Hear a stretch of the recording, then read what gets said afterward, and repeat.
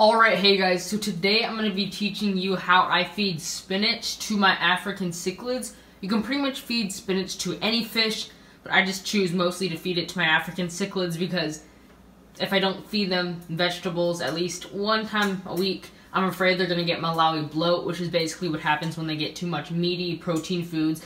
And I do like to mix in some frozen food with their diet. So I'm just going to show you how I prepare the spinach to go in their tank to be fed. So I just start off with just a simple piece of spinach right here, just a small piece. And then I take one of these containers and I'm just gonna fill it up a little bit with just tap water. Doesn't have to be dechlorinated or anything. Just a little bit of tap water like that. I'm gonna go ahead and throw the spinach in it and I'm gonna microwave it for about 45 seconds. So once the spinach is out of the microwave and out of the water, it should just look like this. Now I'm basically just going to take a knife and just cut it into small enough pieces for my cichlids to eat because they are still baby, tiny cichlids.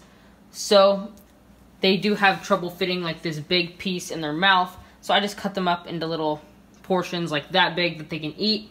And then I'm just going to go ahead and sprinkle it in the tank. Alright, so I'm just going to go ahead and like I said, just sprinkle it in.